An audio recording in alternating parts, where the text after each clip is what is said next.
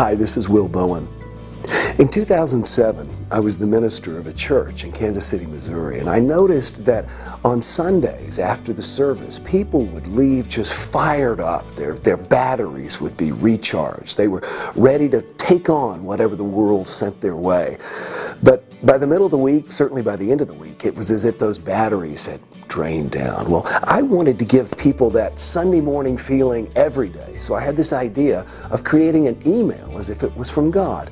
And over the years, it's developed and it has become a, a message that I do that is as much poetry as practical observations. Well, been doing it now for seven years, and after six years, people finally figured out that it was me. And so now, the best of To You Love God is available from Convergent Books.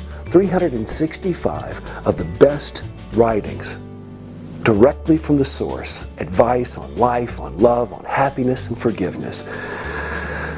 You know, it seems kind of arrogant to be writing a book as if it's coming from God. And so, what I'd like to do is to invite you, if that you're having a struggle in your life, write out your own to you love God. What is it that you would like God to say to you? Because in many cases, when I was writing these, it was about challenges I was going through and what I hope God would say to me. I hope you find these writings a blessing, and I hope you'll share them with your friends. Enjoy today. Bye bye.